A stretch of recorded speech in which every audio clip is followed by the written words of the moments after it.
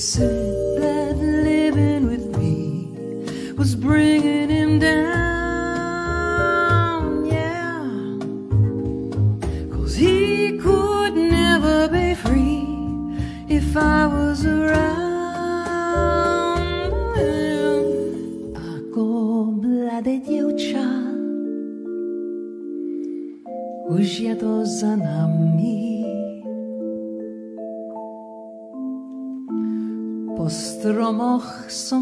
Liezla s našimi chlapcami. Vždy, keď na strome zlomili halúsku, házali mi chlapci čerešne za blúzku. Oh, taking that note, nobody wrong, putting it down. Oh, B played a mean string, an ecstasy playing a hip thing, monk or something. Suddenly it walked bud, and then they got into something.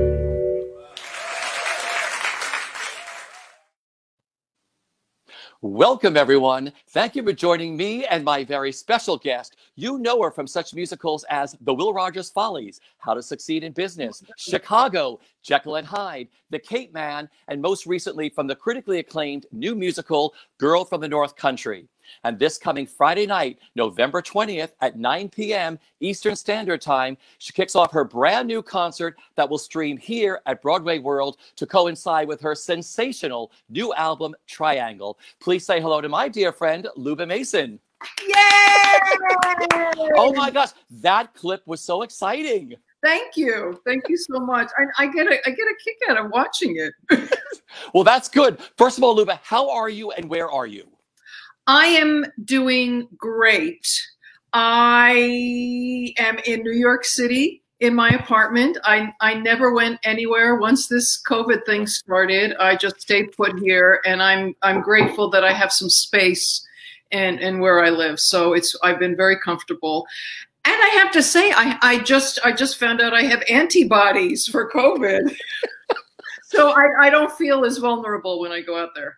It's always nice to have that little extra something of saying, "Oh my gosh, I got antibodies." Yes, I know. Abs- absolutely. Yeah, I, I had the, the virus early, early on, very, very in in March actually. So, um, Oh, so I'm glad they're still still happening.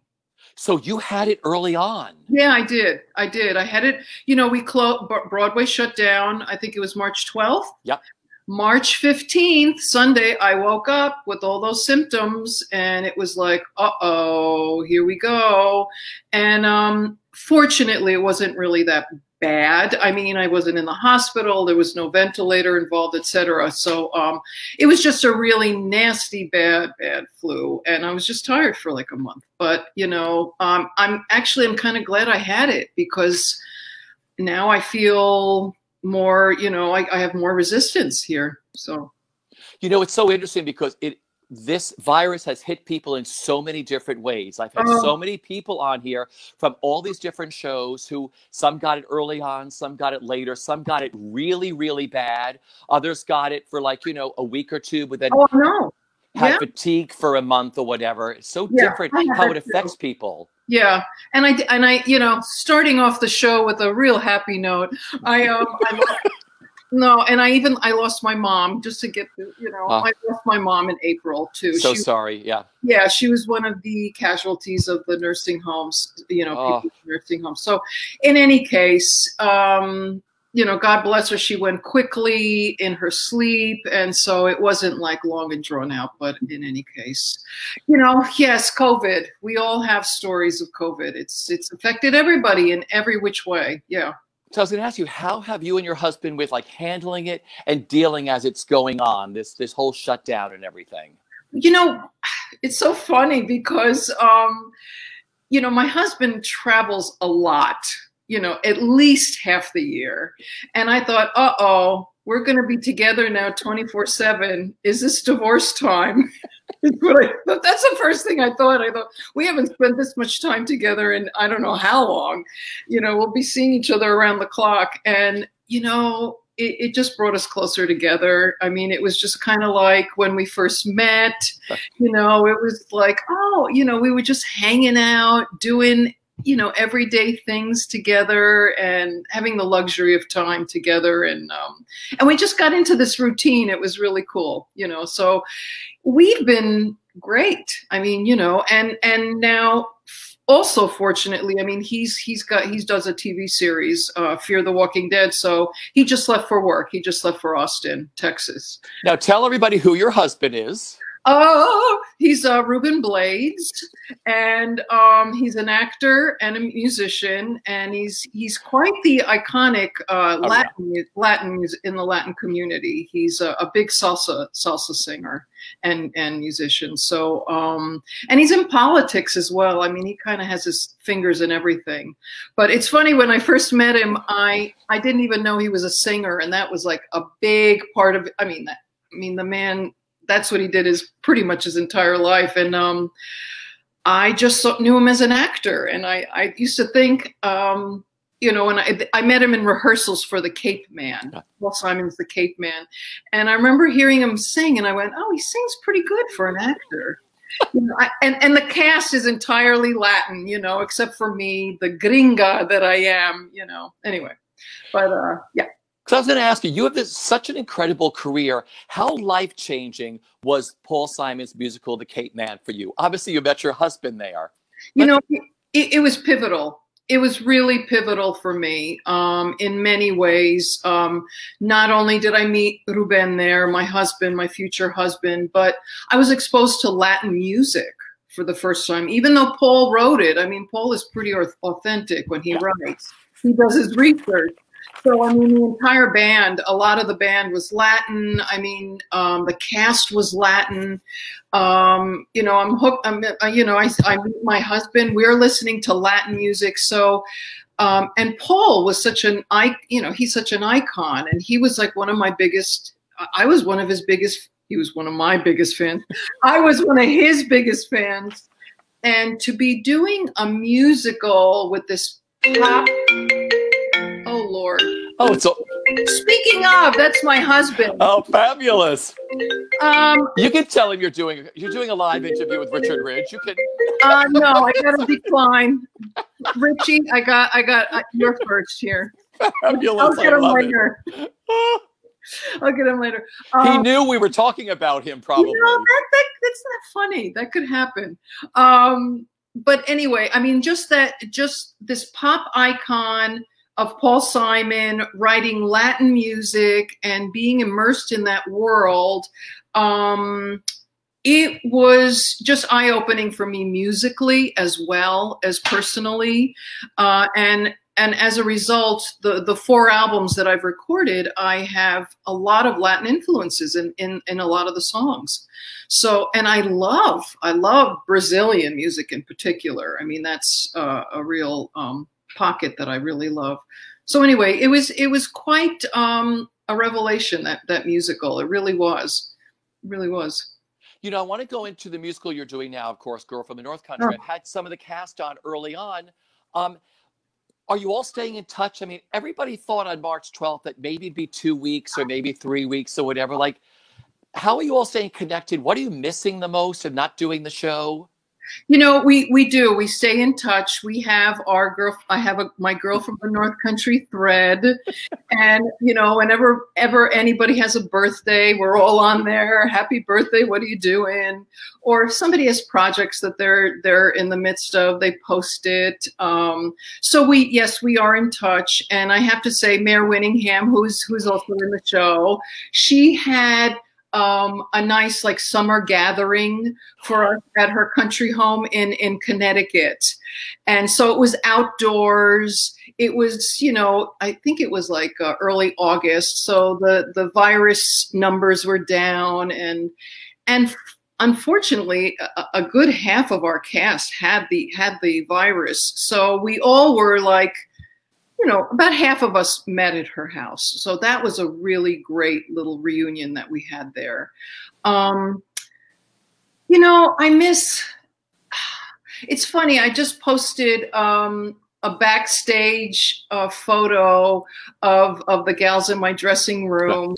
Um, and I, you know, my heart just kind of was was reaching out. I, I miss places. I miss I miss the routine of of you know going to the the, the theater every day and um, you know just just doing the ritual just doing the yeah. ritual and and you know it's been a long time since since i've been on broadway so when girl finally got there when we finally got a theater it was oh god it was it was just so lovely to be back in that space again and that routine and and especially since we we, we were a, a, a hit i mean you know we had good reviews so we thought you know we're, we're going to get a good run here we thought and um you know so i miss I miss that and the camaraderie of of you know every day seeing these these folks. It's your family, you know. Yeah. It's your family. Oh, I would have loved to have seen a picture from this outdoor gathering of everybody with different kind of masks on and social gather a yeah. social gathering all spread out. Hi down there. How, how are you down there in oh, that area? Yeah, well, that's what. I, and she has like this little pond. She had this yeah.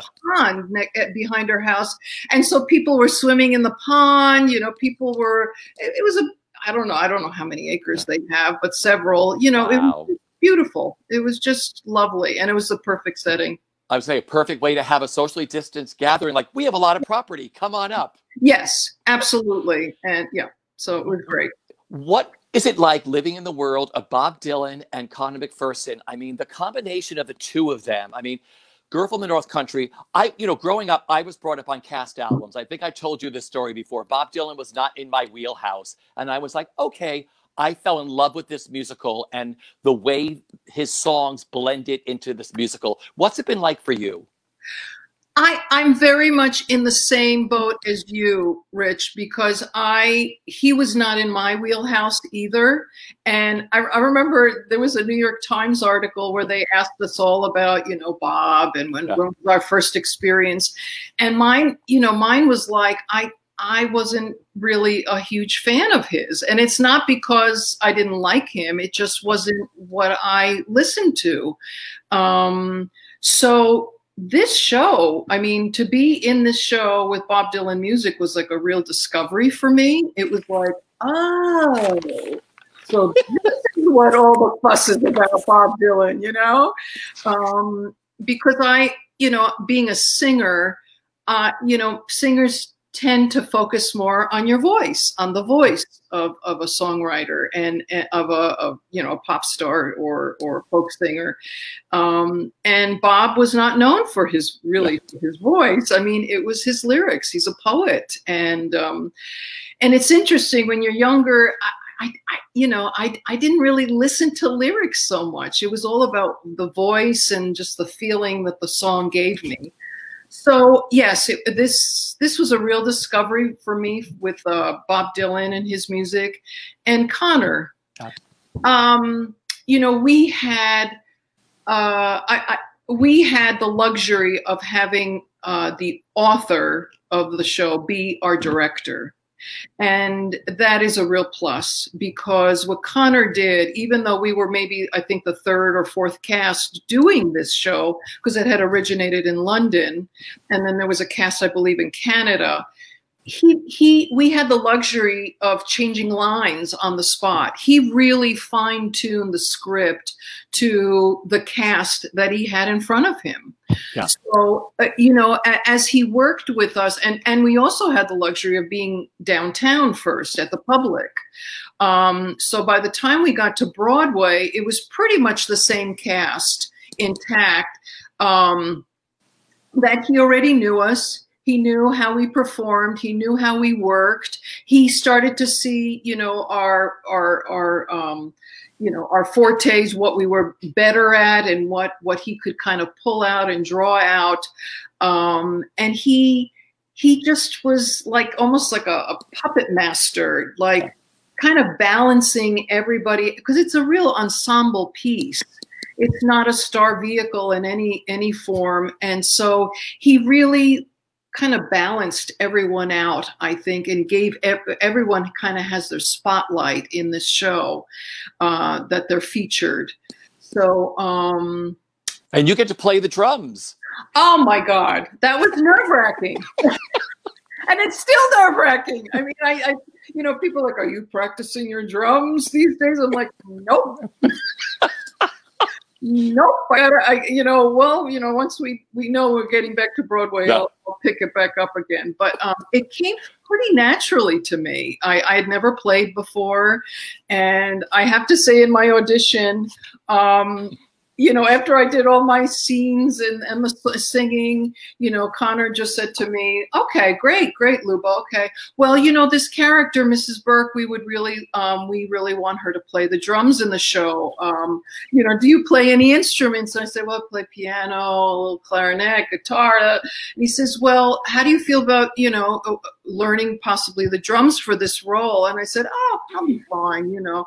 And I walked out of the audition and I was like, oh my God I have to learn how to play the drums if I get this. And um, um, I was really nervous about it. And I have to say, every time I walk out on stage for my song that I have to sing and play the drums, which is Sweetheart Like You, my heart is really beating fast. It's, it's, you know, it's one thing to just play the drums. It's another to sing yeah. play the drum. It's it's it's doing this kind of a thing. It's um because you're singing kind of in and especially dylan um you know it's these are lyrics that you got to make sense out of. Um it's not like i'm singing oh i love you i love you I, you know it's not um, mundane. It's uh, Bob Dylan lyrics, and and you're you're singing in a different rhythm than you're playing, and it's um, but, you make it seem effortless because I've seen you. it a few times downtown. I've seen it a few times uptown. I said to myself, boy, I've got to ask her. She's good on those drums. Oh, you know, and somebody even after the show at the public, they're like, "Wow, I really like your style of playing. Where you? What gigs are you doing? What do you got lined up?" And I'm like, "Nope, nope, not going to happen." you know, you know, I have to tell you, you've been so busy during this shutdown. Um, congratulations on all the success of the album and a oh, big billboard review and everything else. Oh, I mean, yeah. the, the accolades are coming in. The album is Triangle. It is absolutely stunning. This is your fourth solo album, but we have to talk about your concert too, which kicks off this Friday, November 20th at Tomorrow. 9 p.m. Tomorrow night at Broadway World. It'll stream. I mean, how excited are you first for the concert and for this album? Um, I'm over overly thrilled. I re- because I really did not know uh, what the reaction was going to be to this album. Um, I call it Triangle because it's only three people. It's voice, vibraphone, and bass. And I do bring in a percussionist for I think two or three of the songs. But the concept is really these three people. It's a real minimalistic approach to music and it's never been done before. It's never been recorded before. So I thought, well, maybe it's never been recorded before because people don't want to hear that. um, but I had tried out this concept in in New York. I had for about a year. I had put this trio together, and we we did some gigs in town pre-COVID just to make sure you know, does this work? Do people like this? How are they going to respond to this kind of a lineup? And that the reactions were were po very positive. So I thought, okay, I'm going to do an album. And then it was like, okay, now you're putting it out in the world. How are people really going to? How are reviewers going to respond to it? How is the jazz community? You know, the music community. Who who's, you know, you you just never know. And the response has been overwhelmingly very positive. I mean, I've, i think I've gotten over 12 or 13 or 14 yeah. reviews, and they've all been great, and people are praising it. And um, so, yeah. And then it was like, okay, it's COVID. Now, how do I get people to hear it, you know, other than buying an album? And luckily, we videotaped, filmed this live performance that I did of the recording thinking I was going to be selling a DVD down the line. But, and because we had recorded this in 2018, and um, so now I have this wonderful video of, of the live recording of the in front of a live audience. I invited about 60 people wow. Power Station Studios, which is where we recorded it, the legendary Power Station. And um, so I went, oh, we could have an, a virtual online streaming concert here. So uh, yeah, I'm, I'm really, really excited about that tomorrow really cool. I just love how you thought at the time to film a concert live where you recorded your album. Everything yeah. you but all your other albums too, everything is different. You always think outside of the box and it's like, wow. It was must have been so incredible. See, I thought you just I thought you just filmed this. I love that you did this beforehand and you're filming this with friends of yours and fans. I mean, how fun was it filming it? It was nerve wracking. Yeah. um, it was fun, but nerve wracking because what you see and hear um, on this concert and on the album is what you get. There are no overdubs. It was live. It's not like we went back into the studio with the musicians and fixed this and tweaked that or any.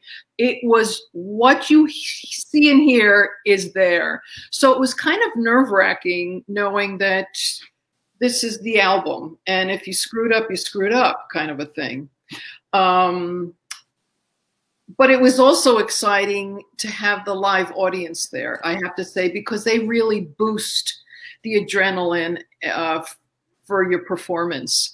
And that was really exciting. And to do it at the power station, which is also where Bob Dylan had recorded Sweet Sweetheart Like You, which is a song I do in the show um, that was great. And of course, I had these two um, pros behind me, uh, these musicians. I have Joe Locke on vibraphone. He's one of the top vibraphonists in the country. And uh, he's like toured with uh, Grover Washington Jr. and, and Dianne Reeves and numerous other people. And then I also have James Genus on bass acoustic and electric bass. And um, he's a Saturday Night Live bass yep. player, as well as he's big. He tours a lot with Herbie Hancock and Chick Corea. And so these guys, I was just thrilled to have them behind me. And um, that means your producer. Oh, and my producer, oh, I can't forget him, Renato Neto. He was a, a collaborator and keyboardist with Prince for I think over 10 years, 12 years. So I had all these I was just you know thrilled to have these these guys surrounding me and um, I knew I was in great hands. I and and just being game for the project because um, again, you know, you're you're doing this project that's never been done before and it's like, okay, who's going to do it? You know who's going to want to like step into those shoes and and experiment with me? So that was all great actually. It was it just yeah it couldn't have turned out better. It yeah. just yeah. This is your fourth solo album. You yes. have three others. What do you love the most about recording and the whole process of making albums?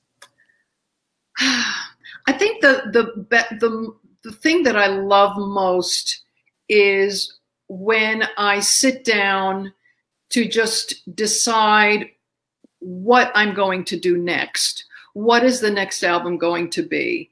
It's the it's the research. It's um it's putting it together. It you know my second album I wrote all the music for it.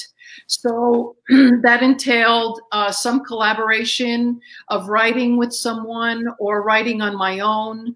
Um, and really i always like to put something out there that it is is new or fresh i don't you know as a matter of fact when i approached this album triangle uh, someone had recommended that i do a trio because my last album was like a six piece band yeah. and and it was really challenging to find gigs that would pay that you know uh, uh, or to make money out of that I, or you know it was a hole in my pocket. And so somebody yeah. suggested we'll do a trio. And i said you know everybody does piano bass and drums. I mean you know you pick some jazz standards everybody does that. Another jazz you know what what do i want to do? So then then the vibraphone came in because i had a vibraphone in my last band. Um and that was new and different. And then just adding a bass, and it, you know, it, it was. I had to hear it in my head at first, and then I thought, okay, this is really different. I think I really kind of like the sound. So when I, I think that's one of the things that I really love about um, doing an album is is is is the discovery of Yeah. what I'm- I want to put on it and do on it that might be new and fresh. Um, Well, it is so cool. It's such a fabulous album. I thought to myself, boy, every all your albums are totally different. They're just so- this is such Yeah, a cool album. Yeah, they really are. time. And, yeah, and and and you know, people ask me, "Well, well, you're a jazz singer then?" And I went, "No, I'm not really a jazz singer." Well, how do you, how do you define yourself? I'm a vocalist. You know, I, I'm classically trained. My older sister was an opera singer, so I I trained with her teachers from Manhattan School of Music and Juilliard, and uh, I'm from uh, I'm first generation Slovak American, so there was a lot of Slovak folk music in my house playing. Um, I listened to the pop radio. Uh, I love that, and then I just you know I discovered show tunes. You know, I started taking out the albums from the library. You know, me too. I'm dating myself. And, Me know, too.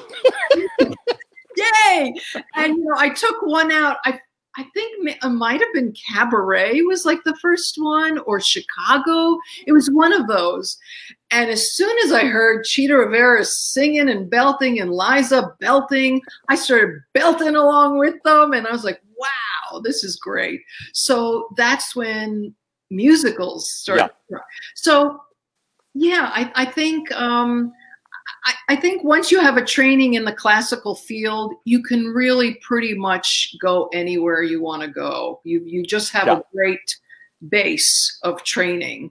Um, and I think that's what's kept my longevity on Broadway as well, because as you get older, you you you don't have the notes as much anymore. You know your voice, but I, the training goes a long way, my friend. Really Yeah. does. Well, we're going to get into your career because you have this incredible, wonderful stage Oh. career. But I want to offer you have some incredible packages, viewing packages you're offering your audience tomorrow night, which I, I think, again, so out of the box and it's so affordable. You offer a premier ticket, which has the concert after party on demand for only $10. Yeah. Then you have a full access ticket for the concert and a triangle digital download for Yeah. $16.99, which I love that too. I love the 99. I used to buy my albums at Korvettes and they were all like Broadway cast album, $4.99. I love that. But you have the 99s. Then you have a full access concert and triangle CD for $24.99. And then this is my, I love this one, the full access complete catalog where you get a ticket to your show and all four of your CDs, Triangle, Mixtura, which I love that title, Crazy Love, and Collage, all for $41.98. Not for $41.99, for $41.98. Is it 41 or 31? I think it's 41, but you're, Oh, okay. everybody, I think is everybody just go to Broadway World Events or just Google in Luba Mason or Google in her show. You can get tickets for there. It's so incredible. I mean, what a great way to offer streaming packages to people that they can watch this. What's really great about this thing now, the one saving grace about the COVID whole thing is you have fans all around the world and all around the country that may not have been able to come to New York to watch you at a concert. They Right. can all just buy a ticket and Right. watch you you know, on demand or tomorrow night, but anywhere in the world. That must make you feel so great. It really does because the ticket, yeah, it's an on-demand ticket. I mean, you Yeah. can watch it for. a- Anytime for a whole month. I think it's a week. It's not a whole month. It Oh, might I'm sorry. Okay, it's a week, but like I said, everybody go there. But I'll keep buying a ticket because I want to watch you all month. Good. Oh, thank right. you. Thank Now, you. listen, I want to go into your career. Like I said, you have this fabulous career. I have known everything you've done on stage, but you've had like 10 different names. So it's so hard to find all your stuff. Tell our audience when you first started on Broadway, what were some of your first names before you became Luba Mason superstar? I um my my my maiden name is Gregus, so I started as Luba Gregus. That's where I started. Yeah. And then I did a show with Martin Charnin, and he found out that my real name is Lubica, which is uh, you know, Luba is like Bill for William. So Luba is for Lubica. So he he loved that, and he says you got got to use that name. So I then I became Lubitsa Gregus. Uh, and then I did a show with Tommy Tune, Yeah. and he started calling me Lubitsa, Lubitsa, Lubitsa Gregus, Lubitsa. and I went, no, that's not how you say my name. so then I started spelling it phonetically, you know, and then that was there was a different spelling change. So he would say it maybe more correctly, but that didn't really work. So then I went back to Luba Gregus, you know. And then this is this is the one out of the box. then um someone had suggested um, that I change my name entirely because I um, I had gained some weight. This was I'd gotten you know like it was se- several years out of college. So somebody somebody says you know if you change your name you're going to change your perspective on yourself. You're going to lose weight. I changed it to Kim Freshwater. totally. And that's my email, actually. So then I went to Kim, and people were like, Kim Freshwater. Okay. And I made everybody call me that. And everybody did. It was really kind of cool. So I was Kim Freshwater for like three years. The only people who wouldn't call me that is my mother. Yeah. My mother, and I think it was my boyfriend at the time. Um, then, you know, I just kind of had it with the Kim Freshwater. I went back to Luba Gregus.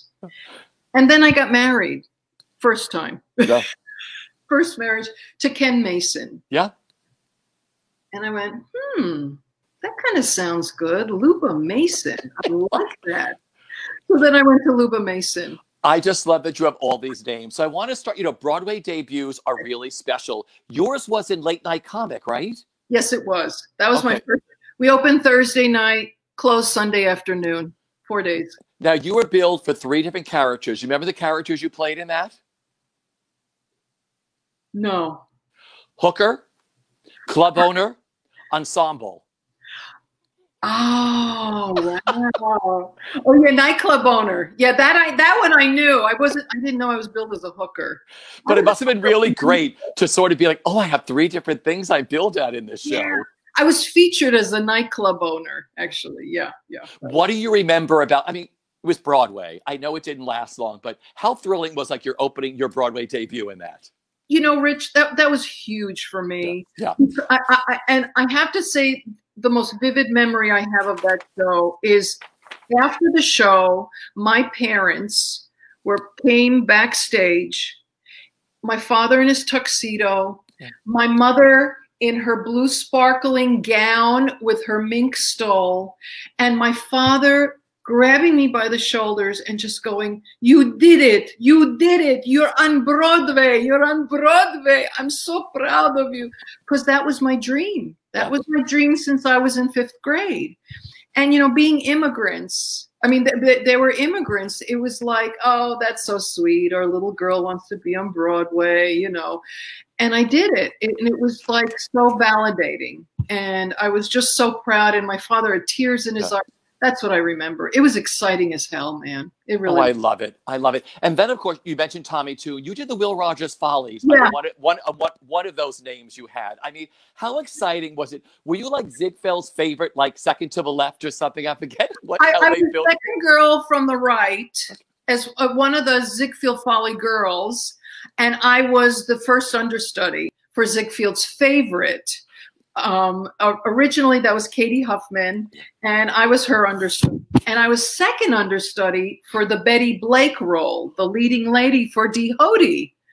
And I got to go. I mean, I, I went on as Ziegfeld's favorite many times, but and I did eventually get to go on as Betty Blake with Mac Davis when Mac Davis was on. So that show really gave me my wings in in the business, and I think that you know kind of that was a huge hit, Will Rogers. So that kind of put things on the board for me. It was like, oh, she's in a hit show and she did these roles, and that's when people start to kind of take notice. Oh, I love that. Did you also do Sid Caesar's show too? I did. That was right before that. Yeah. Unfortunately, that was not. Uh, uh, Yeah. It didn't do as well. But I worked with legendary. God, Sid Caesar. Hello. I mean, a lot of the kids today probably don't even know who he is, but this is a legend, and Yeah. uh, his show of shows was was huge. It was exciting. really exciting. I, I can imagine, like you said, you get to get, get a gig with Sid Caesar. I love that show. I know it didn't last long, but listen, to see an icon like him on stage and to see all of you, and you Oh, had and- you had another name in that too. I think you had another one of your names in that. That was Lu, Lu, yeah, that was Lubica, that one. L U B I C A. Yeah. I have to pull all my playbills out. Yeah, I, I, I and you know, I have all my the the the, uh, the Broadway cards. What do they Yeah. call the place? Window cards, window cards. I have them in in my gym upstairs, and it's so funny seeing my name different, like in every show. But then, of course, there was Hedy La Rue in the first Broadway revival, which is Mhm. behind me over there. Yeah. You co-starred opposite Matthew Broderick. I mean, Hedy La Rue. I mean, that's when I really got to know you because I remember we were at the recording session that day because it was recorded on April 2nd, which was my birthday. And Matthew let me sit right in front of the microphone when he sang I Believe in You. I had the fondest time at that recording session when you all recorded on Oh. RCA. But you got to do Hedy La Rue. How incredible and how fun was that show to do in that role? Uh, it was amazing. And yes, you're absolutely right. That was the show that really put me out in the Broadway community. That's that's when people really kind of went, "Oh, who's this girl?" You know. Um, that cast had Matthew Broderick in it, Megan Mullally, um, Vicky Clark, uh, Lillias White. I mean, this cast was just amazing, really was. And then Sarah Jessica Parker came in Oh, and yeah. did it for a little while. We had John Stamos come in for a little while. Um, this was like my big coming out role, and she was so much fun to play. She, you know, just and, and she's this girl from Queens, which I am. um, you know, I, I got to draw upon a lot of, you know, I just the accent, everything. I mean, um, and the costumes I got to wear. I got to be like eight feet tall in this show. I had like five inch heels. I had the wig, and then I had this big hat. You know, you couldn't miss me in the show. It was it was just a dream role, really a dream role. But that was such a monster hit. Like, of course, Will Rogers was too. But to have Yeah. a, a role of your own, I mean, you couldn't Yeah. beg, borrow, or steal a seat to that show. And it was like everybody. I, I used to go all the time to see, you know, Matthew and all of you, and then John Stamos. I mean, and Sarah. But it was just wonderful to go to the 46th Street Theater. That that was one of my favorite theaters before it changed its name. But I mean, it was just this runaway hit. It must have been so great every night to watch. Like Lillias would do Brotherhood of Man, and the place would just go ballistic. Crazy. I mean, she like stopped the show. I mean, she just kind of starts wailing, and Yeah. it was she had the eleven o'clock number basically. You know, it was really, and it was the first time that Matthew was singing in a show. When he came down on that scaffolding, the place went ballistic. Yeah, because it was like, oh my god, and he has this lovely voice. Yeah. It's, it's so people were like, whoa, we're in for a great ride here. You know, so Yeah. um, a great. But, you know, then you mentioned Chita Rivera taking albums out of the library. You got to play Velma Kelly. oh, I mean, what was it like stepping into those shoes in the hit revival of Chicago? Um, you know, I have to tell you this really quick story because um, growing up, the second Broadway show I ever saw was Dancin', and I saw Ann Reinking in it. And when I saw her, you know, like wrap her body around this pole with those long legs that she had and that long hair, I sat there. I think I was in the sixth grade. I went, that's what I want to do when I grow up. I mean, I was mesmerized by this woman on stage, and I just followed her career from there on. So when I got into Chicago, I have a put in with Ann Reinking. So I came full circle. That day uh, was so uh, I I mean, like one of the best days of my life. I mean, they said, "Oh, Ann is coming by, and she's gonna she's gonna coach you, and then we're gonna do a dress rehearsal, and we're putting you in the show." I was like, "Oh my god!" You know, and just to see her, to talk with her, for her to give me notes, to for her to tell me, you know, wonderful compliment. It was, you know, oh god you know it's just these are this is somebody you looked up to. And and as i said I, I put this in one of my cabaret shows. I said you know now when when you know you you you you finish a show you go outside and you've got all these fans wanting your autograph and they tell you that you know, you have just made their day, you know, that they want to be like you. They look up to you. You know, I went, oh, I get it. I really get it now when, you know, young people are watching your performance on stage and how much it means to them. It could, it means everything to them. Yeah. Well, you were one of my favorite Velmas. Chita's my favorite. You're one. Of, you're right up there. I, I loved okay. you in that, but I didn't realize that you had to put in. I love Ann Reinking. Annie, Annie, mm-hmm. Annie did my show about two months ago, and it was the highlight. I mean, I just, I've always watched. We sat for an hour, and we went through a whole entire career. She is oh. one of oh. the sweetest, and it was like, you know, because I saw her in everything, oh. from you know, from over here to everything, you know. Oh God, yes, yeah. But and she's also a sweetheart. Besides being one of the really? most talented people, a real, real sweetheart. Yeah, I agree. You, you know, then you took over the role of Lucy from Linda Eder yeah. in Jekyll and Hyde. I mean, those were some big shoes to fill, but you were able to make her your own. And I love when people go into something and they're like, oh my God, Linda Eder's no longer in the show. Now Luba Mason's in it, but you made her your own. Everybody's like, wow, because you blew me away in that too. What was it like living in that world of Frank Wildhorn and Jekyll and Hyde? I, I you know, I was ex- uh, two stories here first of all, I couldn't get seen for this show because I had just finished Hedy La Rue, which was a comedic role, and I did the Capeman, which yeah. didn't last very long. And that Capeman was really the first time I had like some singing, some solo singing in it. And it wasn't a lot, it was a smaller role. So when I heard that Linda was leaving the show, I went, hmm, we're about the same height, the same type. I said, I know I can sing the shit out of these songs. I know that. But nobody else does.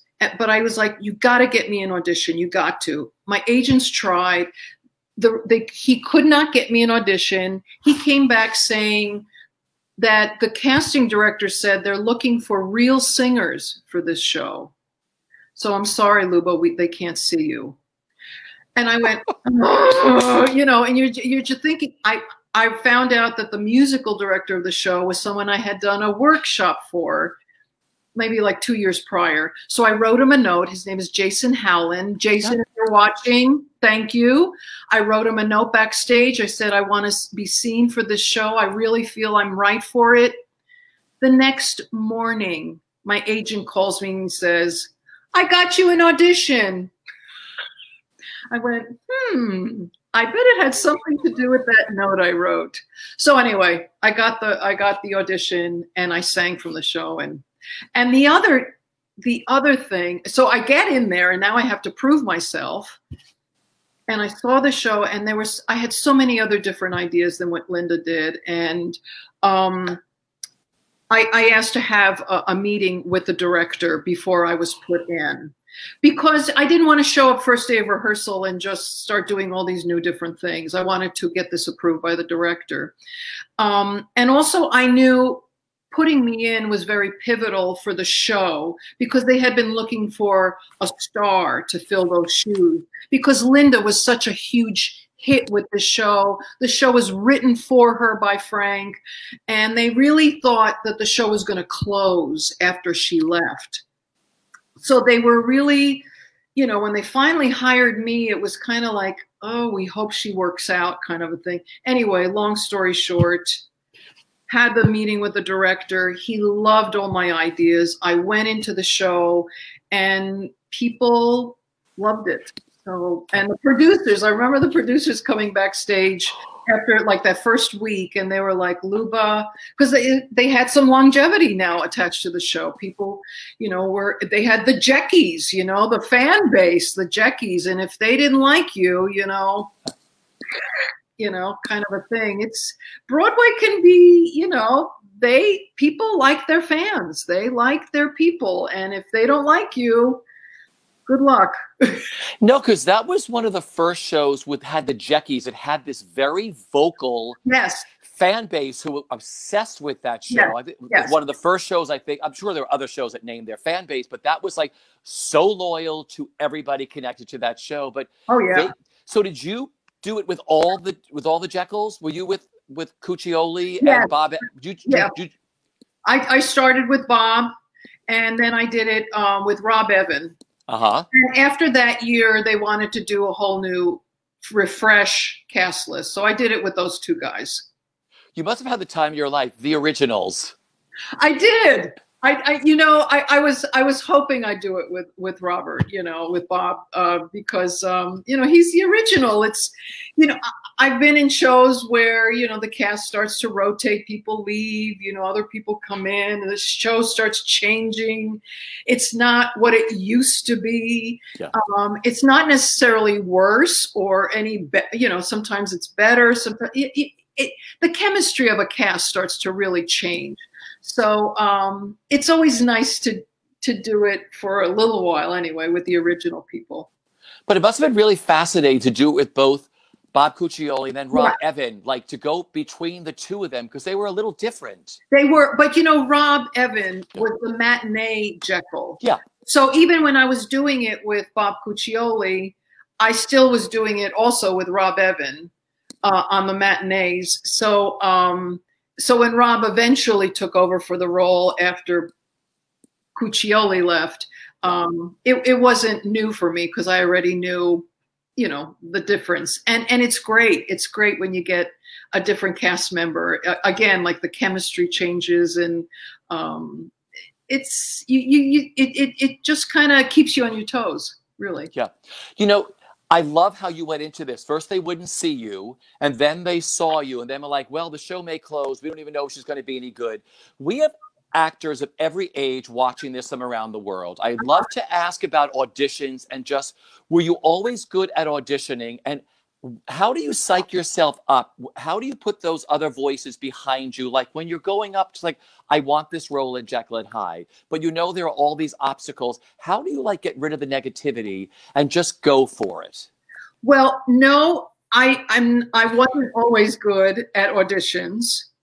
Um, it's something that you just I don't know. Some people are great at auditions right off the bat, and sometimes some people are not it's something that took me a while and doing a lot of to gain the confidence. So the second you walk into a room, you are confidence personified.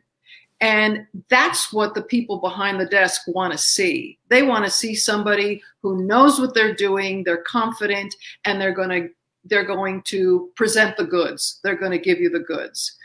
Um, what was your question?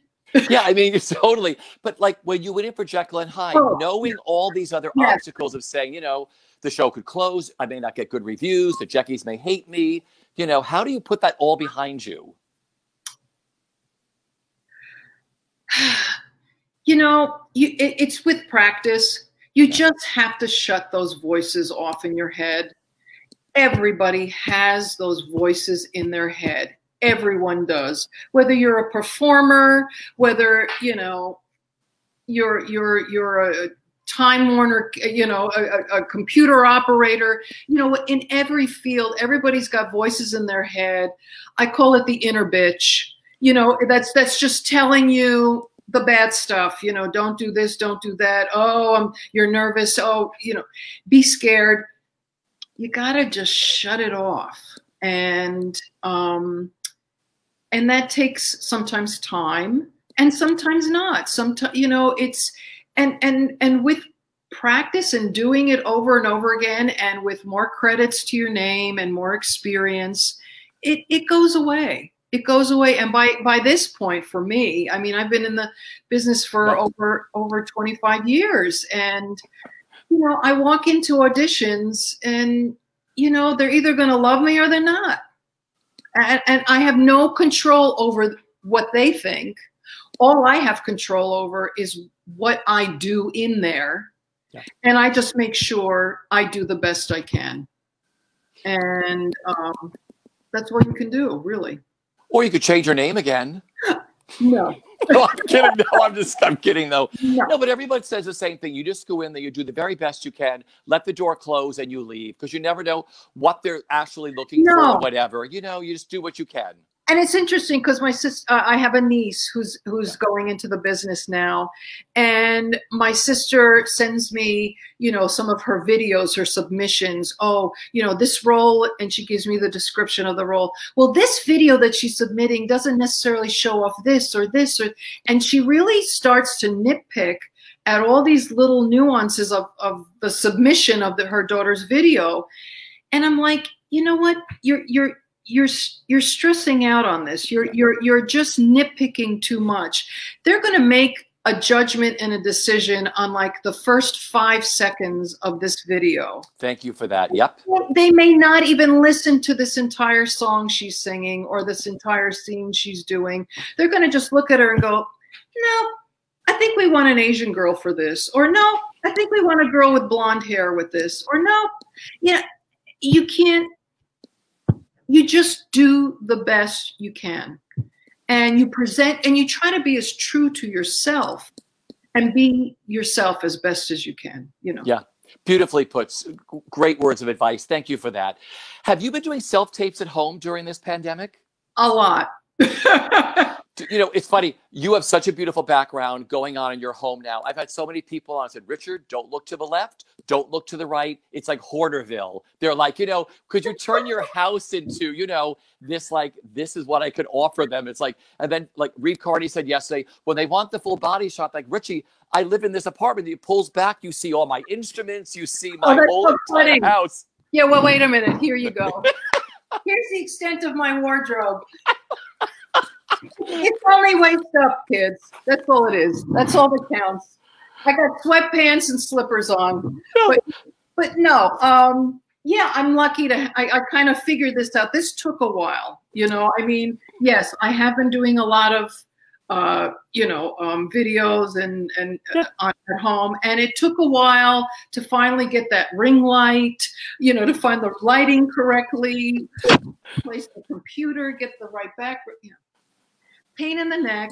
I hate it, but I got it. I gotta accept it, and this is the future. No, you've got it all dialed in. It's like we have nothing but yeah. time to, to perfect this stuff at home now. It's like, well, I'm not going out anywhere, so I might as well just sit here and play with the ring light and everything else. Yeah, there you go. Yeah. You know, my final one of my final questions for you is, you know, it's the business is going to be so different, like you said, for your needs. Oh, it's all good. Ruben's probably like his his he's still saying, "Where is she? Where is she?" I know, I know. You know, it is. So, again. it's so interesting now with all these new kids that are trying to break into the business now. It's going to be a whole other world, you know, post pandemic. Yeah. The way they're doing it now, and I mean, what advice would you offer? I'm sure you teach master classes and everything else. What advice would you give for the youngins starting out or trying to break their way in to the business now? I mean, how hmm. they should start a career? You know, it's so different now than how it was when I started out in the business. I think the kids today have a lot of advantages. I mean, the internet, period. You know, when, when a role comes up, that all they have to do is Google.